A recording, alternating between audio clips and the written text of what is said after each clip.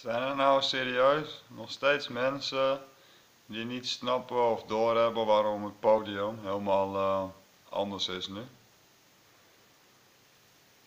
Inge was toch helemaal Pieter Stuurman en daarna was ze toch helemaal verliefd op Capelle en dat stopte om 11 uur man.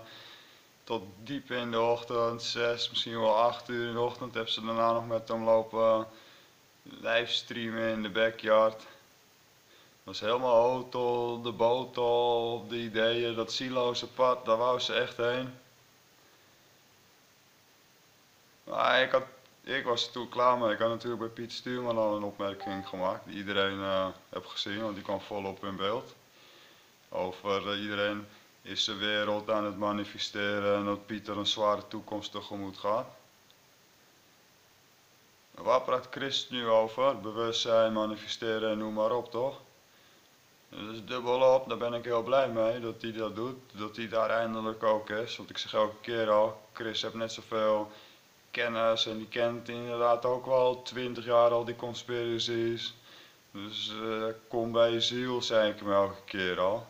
Dus daar is hij nu eindelijk. Maar ik heb wel in een drie maanden in een wachtkamer gezeten.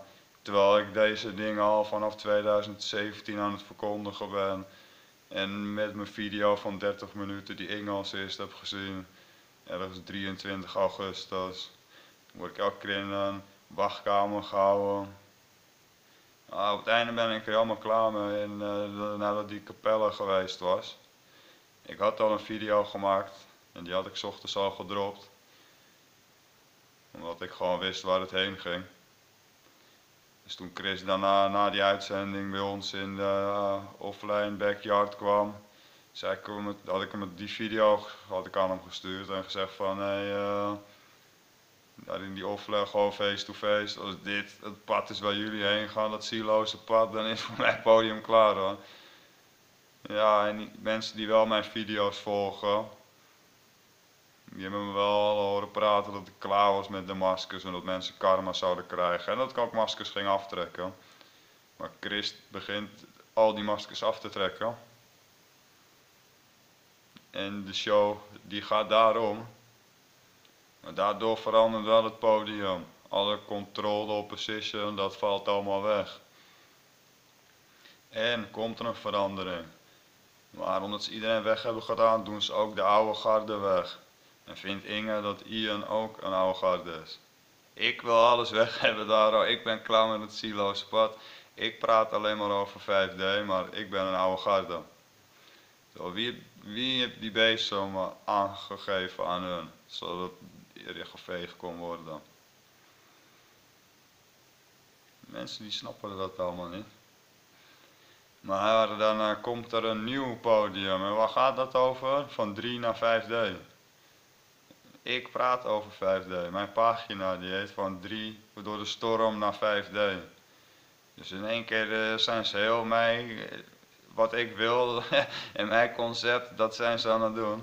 En dat wat Chris doet, dat vertelt hij even in een mooi verhaaltje, in een samenvatting. Maar dat is gewoon, zijn dingen wat ik overal in mijn video's en in de streams verkondig. En dan de eerste twee gasten die komen, die komen alle twee bij het 5D-centrum vandaan. Waar uh, een van de acteurs vrijwilligerswerk doet. En misschien wel meer mensen vanaf daar dus. Dat geef ik ook blijk aan Chris en dat is meteen ook klaar. Want ik geef ook blijk omdat ik die chat van mij en Inge online heb gegooid die iedereen kan zien, zodat ze kunnen zien dat ik niet gek aan het doen, dat ik gewoon eerlijk, ik ben gewoon met die 5D, ik ben gewoon met dat uit mijn dromen gehaald, dat uitleggen met de déjà vu's die ik de hele dag heb.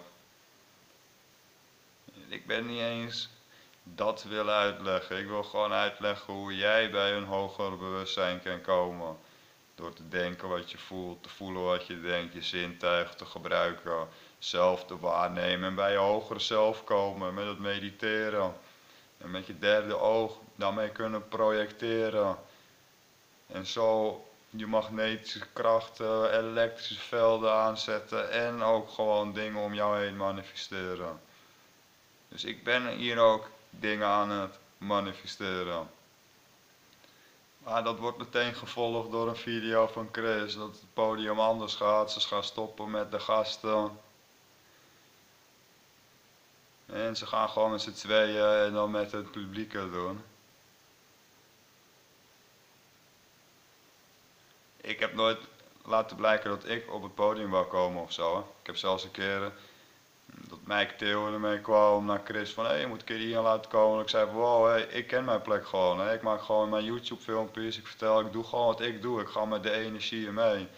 Dat Chris zei, oké, oké, ik zal in ieder geval wel je pagina Storm naar 5D delen op de Haan. En dat had hij toen ook gewoon gedaan. En dat ik die video stuur naar Chris en Chris die video naar Inge. Inge die video naar mij stuurt van ik heb hem gezien en vraagt of ik kom. Dan is het toch gewoon voor mij nieuw de eerste keer of zo dat ik gevraagd word om op het podium te komen. Is dan niet zo heel gek dat ik daar dan even over na wil denken.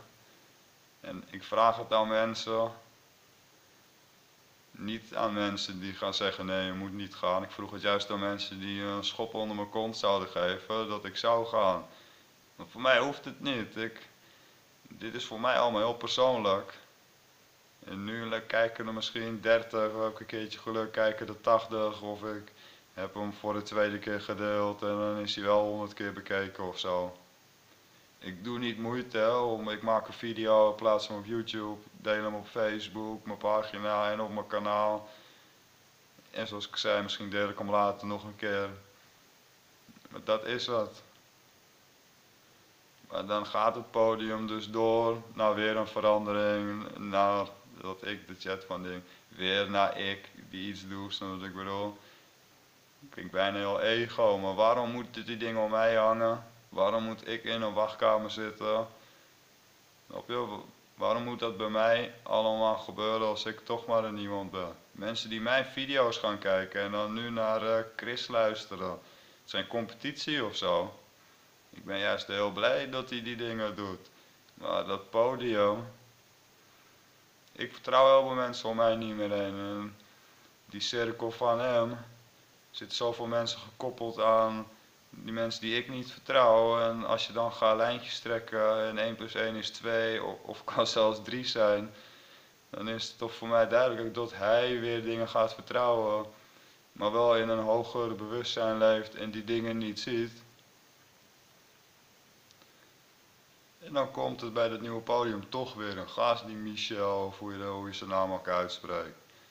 Die een maand geleden, of twee maanden geleden, politiek wakker werd, eh, zag dat er allemaal leugens waren. En nu binnen een week of twee weken dat 5D hoger bewustzijn in één keer ook snapt, maar niet weet hoe die het uit moet leggen. Zelfs ze praten is geen 5D, dus zijn acties, niks laat het zien. Dat ik na een tijdje klaar ben en dan dus de opmerking plaats die volop in beeld kwam. En dan gaat Inge later nog zeggen ook, ja, Ian, als je wel de video's van Chris gezien had, wat hij allemaal aan het vertellen is, is niet eerlijk wat je nu zegt. Oh, wat, wat, denk, wat denkt die Inge? Snap wat ik bedoel? Waar, waar is zij? Hangt zij echt in dat 3D? Kan ze er niet overheen komen? Is ze echt AIVD? Of nou, snap je, dat kan toch niet? Er klopt dan toch iets niet? Ze doen mij onrecht aan. Maar nu is het niet eerlijk dat ik niet vind dat. Snap je, er zijn zoveel dingen wat gewoon nog niet aan het licht is gekomen. En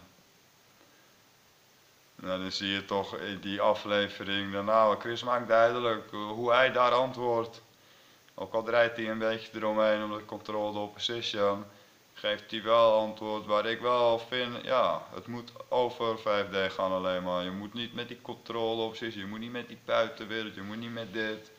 En dan mag toch Angela, oh, mag toch langskomen. En die komt dan ook langs. En dan weet Chris al hoe ik erover nadenk. En dan begint hij met dat hij misschien om 10 uur weggaat, omdat hij zo moe is. Maar dan beginnen ze met praten. En dan is Angelo, Angela.